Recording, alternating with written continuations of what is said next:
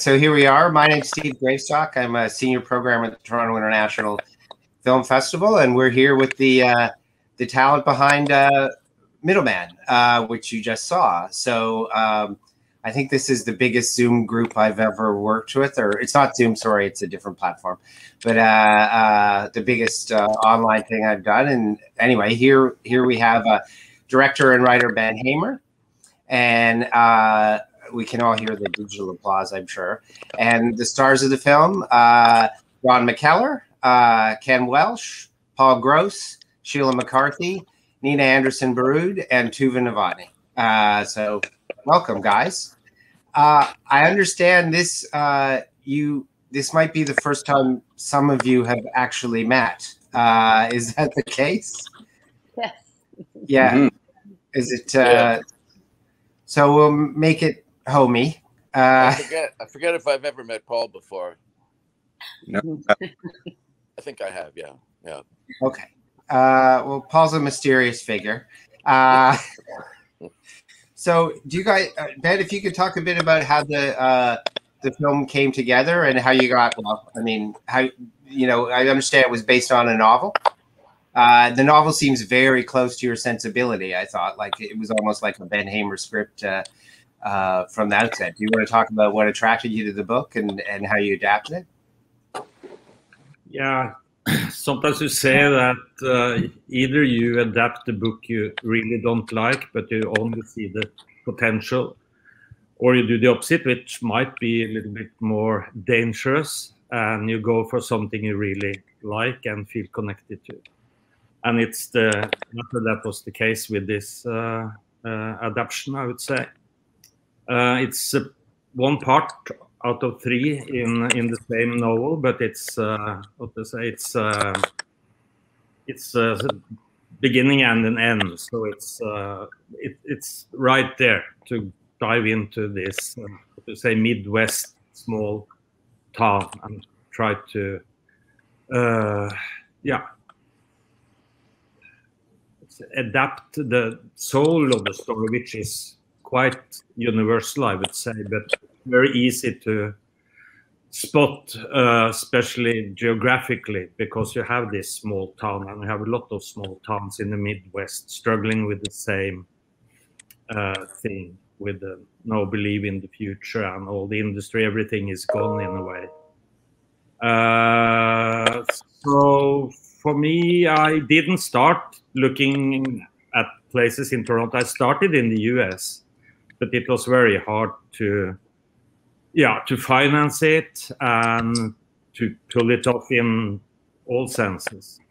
And we even uh, was looking around in Romania. Could we shoot it in the backlot of a studio? We went to Ireland, and I even uh, uh, tried to figure out if it was possible to do it in Norway. But I, I mean, it would be quite uh, different to try to to change it into a Norwegian society. Then I think you have really to go into a yeah, non-existing place or what to say. Yeah.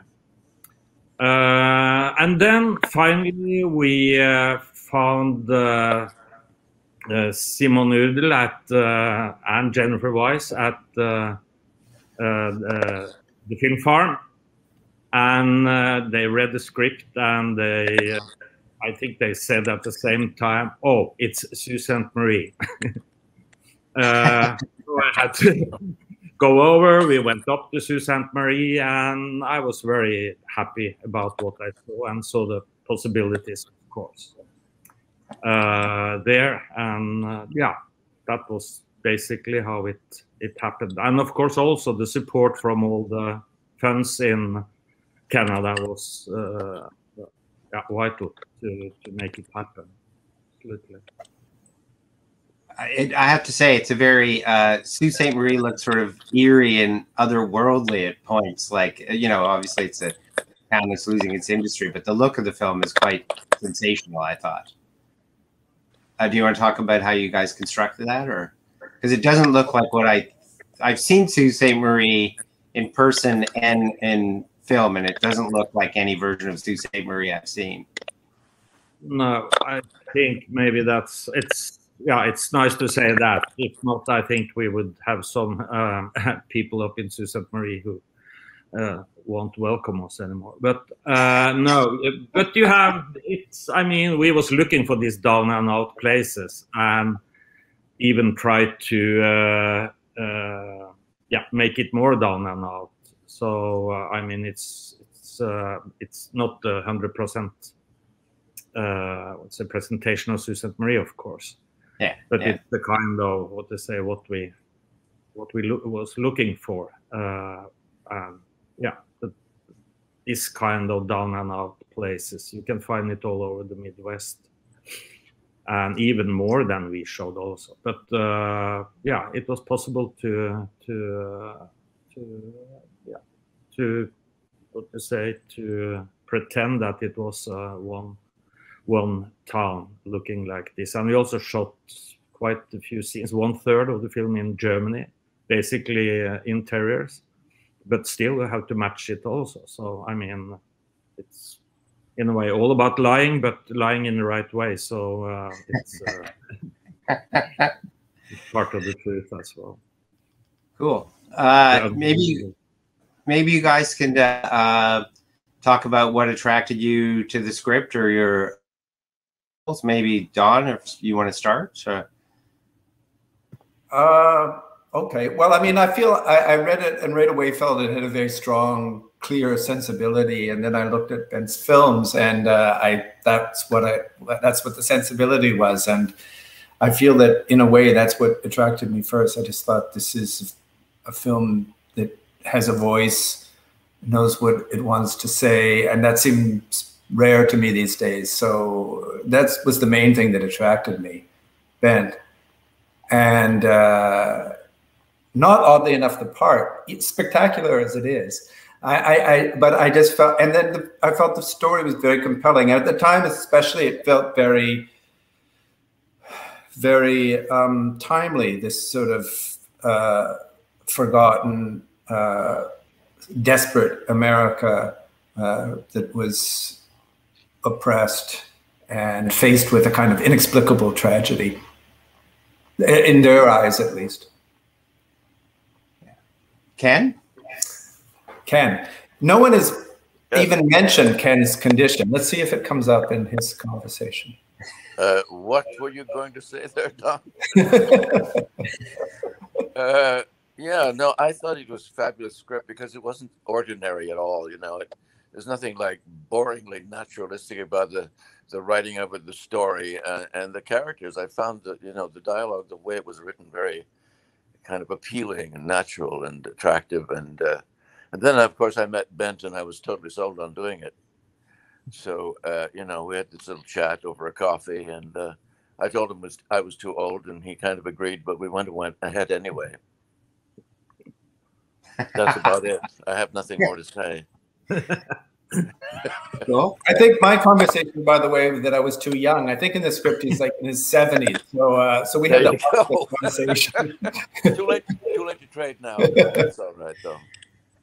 Paul, Paul, I think you have the one of the best lines in the in the in the script. Actually, the uh, the the moment where you turn to Frank Freley, the the main character, you say you only you only get one chance to say as little as possible which I think it should be a programmer's mantra. Uh, hey, Paul? I I, uh, I think I, I read it and I thought I have absolutely no idea what this is about or how it should work or how it should feel. And then I had lunch with Bent and I thought, well, I still have no idea what I would do, so I better do it. And, I, and it was it was fantastic fun to work on. It was in a way I felt like I kind of started to only slowly understand it as we kept shooting, because I really had no, and it was great too. I think that we all kind of experienced this as actors. You'd get up, you do something, and then he would come over and say, "No, no, don't do that," and then slowly you kind of understood what he was after, and then I think it made sense. Sheila. Oh, I think we're. Uh, yeah. Um, I, I I felt the same way that you did, Paul. I thought I was coming in to play this the grieving mother, and that it would be this these big sort of you know sort of um, volcanic scenes, and it was none of that. And so I really felt that it was coming in to do very little, and yet when I watched it, it the the puzzle piece fit in with the with the opaqueness and the kind of grief that you were outlining in the movie and the landscape of Sault Ste. Marie. So I had one vision in mind and it was an entirely different experience. And who doesn't want to go to Sault Ste. Marie? So there you go. It was a beautiful experience. Cool. Nina? Um, well, I have to say, uh, a lightning bolt goes through me if there's ever a chance to partake in a Bent Hamer film uh, he just has a he's just got a, a special love for uh, ordinary people and and knowing how to find the exotic in them. And uh, so and, and being on set with him it, it's such a sort of warm and in, inclusive experience. And i you know and then and then being able to to come back to canada. I mean uh, i live in norway um, and have done so since well roughly since 1986 so being able to come back to Canada was an amazing opportunity. And then and the way he puts things together, I mean, I can feel myself getting a little bit emotional while I'm talking about it because uh, I haven't seen the, the completed film yet. Um, I'm waiting for, I'm waiting for the big uh, premiere reveal.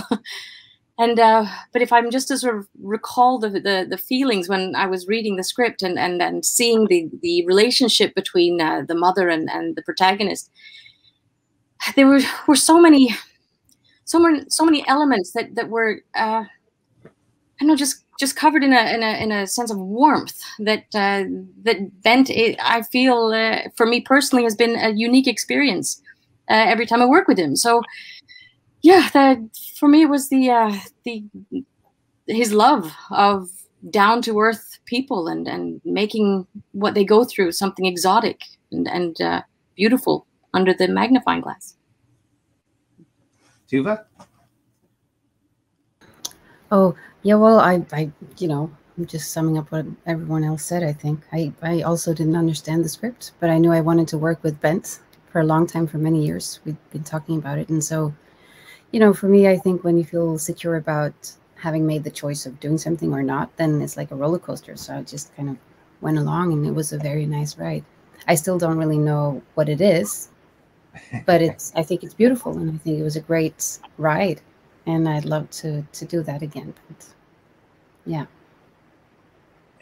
And uh, I I I love the the. Uh, well, I was gonna. It's also the. Uh, I mean, I love that scene at the end where. Well, I love the flirtation between uh, the sort of odd on again, off again, awkward flirtation between you, your your character and uh, and and the and the main character Frank. But the uh, and and the boat ride at the end, which is like awesome.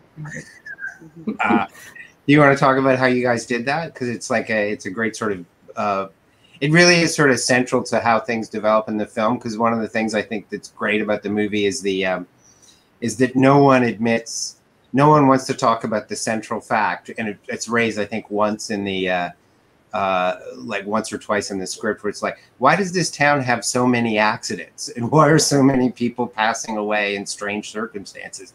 And that's sort of the, that's sort of how the whole film develops. Is no one really addresses the obvious yeah. question. It's uh, and I think that's part of how we're they're grieving about things as well. So it, it's sort of you know kind of beautifully displaced, and it makes it much more plaintive. But anyway, go ahead. You know, even shooting it, we didn't really know what the answer was. I mean, I remember talking to you, Bent, and I was like, so is this for real? Or, you know, what what is this? Is it or is it just a dream? Or is it are we on a philosophical level?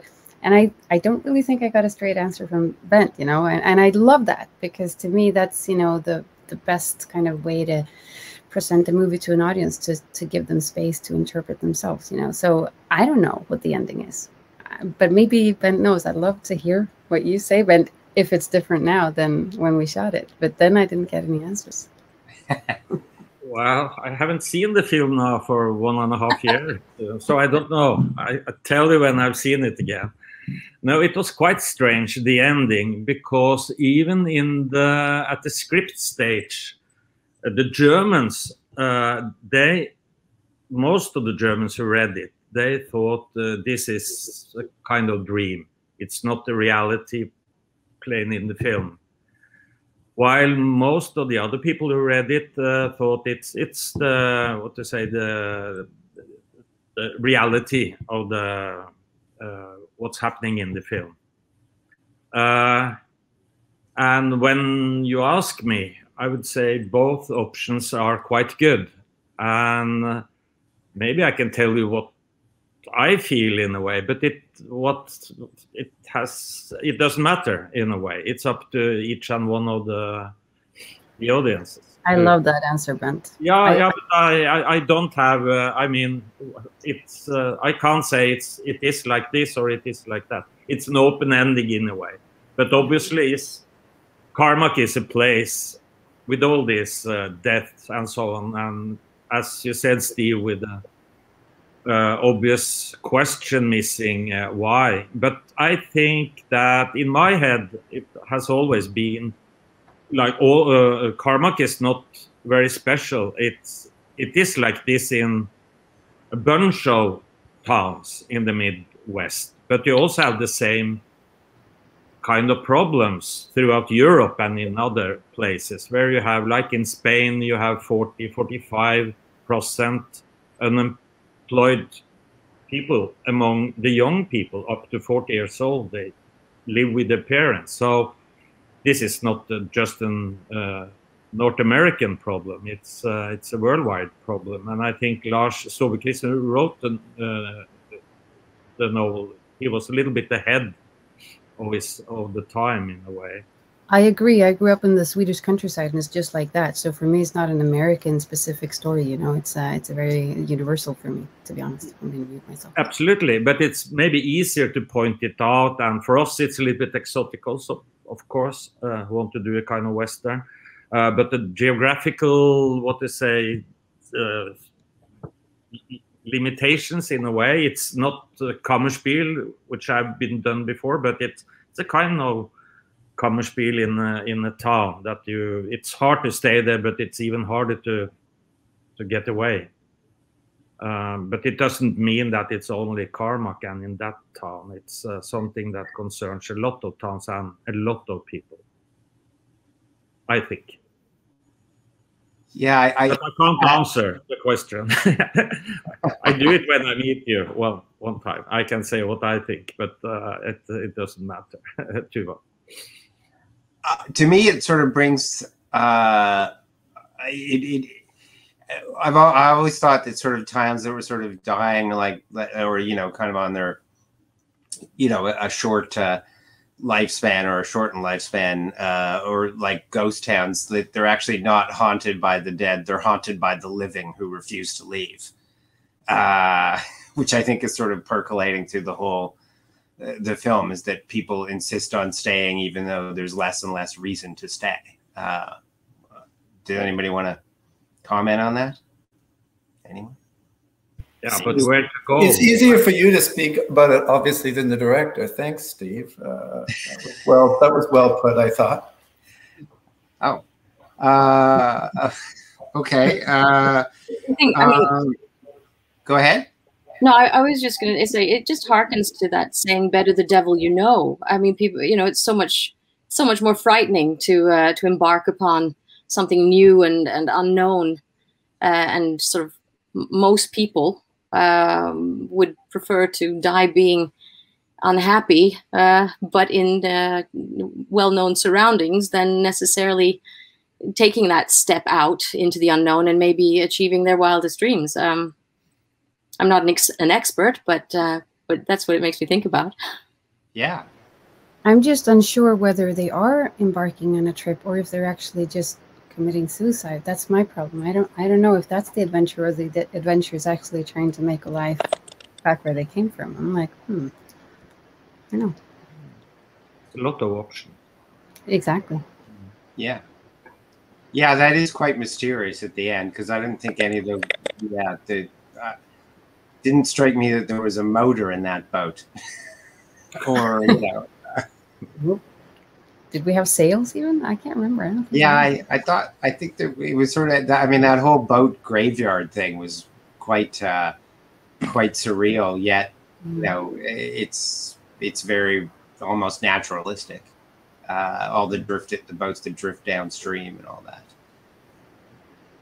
Um, okay. Uh, uh, I, the uh, I just um, Bent. I guess I should ask. Uh, you know, you have a very um, uh, specific uh, uh, comic sensibility. Um, uh, did you find did that jive with the Canadians you were working with, or the Canadian sort of sense of humor? Because I I feel that it kind of well, I mean, we've shown a lot of your films here at TIFF, and uh, uh, it usually does. So, uh, how did you guys?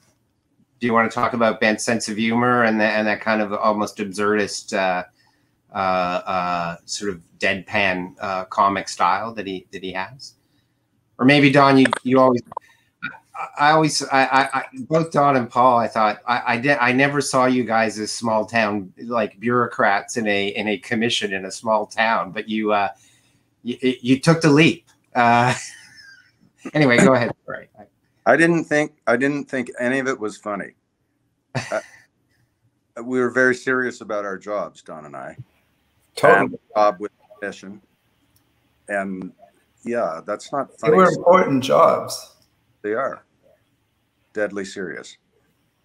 However, there is this sort of Nordic humor that I do feel Canadians have uh, have always been able to identify. At least I have always been able to identify with mm-hmm. a lot of Scandinavian films and cold, a lot of serial yeah. I thought you guys were so funny, and I kind of had a halfway realization. I'm like, oh my god, this is comedy. They're doing. and here I am with the Scandinavian noir. I'm like, oh god, I'm flashing just by thinking about it. But I thought you had a great sense there, great tone. I just didn't get it myself. yes, you did. Yes, you did. You're very funny. It was great. But I think okay. the the I mean, as you said, Steve, you call it dead pan, and that's okay in a way, and not to be try to be pretentious, but I think this kind of Scandinavian, if you can put it that way, or define it as a Scandinavian kind of humor from the above the vodka belt uh, is maybe more kind of poetic humor. I like to use that expression. That's great. I know it can seems a little bit pretentious, but it also gives uh, the actors the possibility to put in whatever they think is funny. And I talked, we talked a, a lot about it, Paul. Not a lot because we we we were on the same page that we shouldn't try to be funny at all. And I don't think I've tried to be funny in any of my movies, even if they try to sell this as, as comedies there are hum humor in in the films, but I I never tried to be uh, funny or make funny films. I I can laugh, of course, too, but it's uh, I I'm not trying to make uh, comic scenes to make sure. them. Uh, uh, yeah, so I as I used to say, when I make a comedy, I will I will announce it uh, clearly. Thank you, Bent. Then I'll know it next time. Yeah. it, it won't happen. so. Somehow I feel that, like I think Tuva said, that there's something very humane about these characters. That It's, it's, it's sometimes it's hard not to be to find eccentricities in regular people without seeming condescending. But right away when I read the script, I thought there's genuine. Uh, he's been able to identify it and actually even has has affection for these characters. Uh, so yeah, it isn't just comic comic uh, writing. It's oh, sort sure. of yeah. yeah, yeah, absolutely. You know, Don, uh, I, I thought uh, when you came up to Sault Ste. Marie, I you you came as uh, as the doctor. The, you came as the just like the character. Uh, in a way. And I, I thought uh, uh, uh, Don is like that. You are like that. But people, no, no, it, he's just playing out his character. I, it took a long time before I understood it. I hope I'm not. I hope I'm not. no, but which is, uh, I would say it's, uh, yeah, it's a positive way of uh, seeing your